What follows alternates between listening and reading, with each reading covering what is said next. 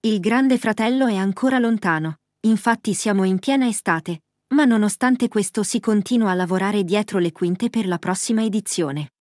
E ora si è scoperta una notizia che potrebbe creare delle reazioni contrastanti nel pubblico. C'è chi ne sarebbe felice e chi invece ci resterebbe male, tutto dipende dal modo in cui è seguito questo reality show. A proposito del Grande Fratello, un'altra notizia è uscita fuori nei giorni scorsi.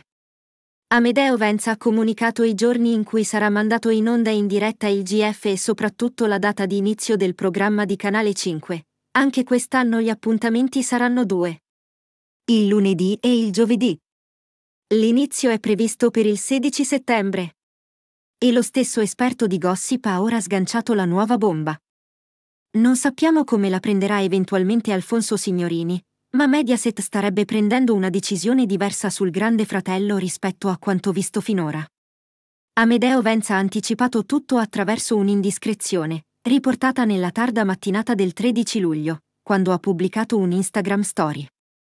L'influencer ha postato sui social, quest'anno il GF potrebbe durare meno rispetto alle scorse edizioni speriamo.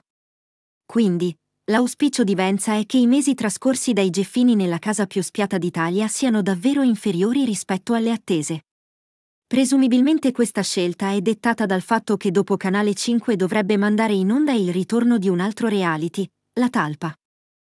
Ovviamente non c'è ancora niente di ufficiale, quindi occorre attendere il comunicato di Mediaset soffermandoci infine sulla talpa, a condurla dovrebbe esserci Diletta Leotta. E si parla già di due concorrenti, l'ex calciatore Nicola Ventola e l'ex uomini e donne Mariano Di Vaio.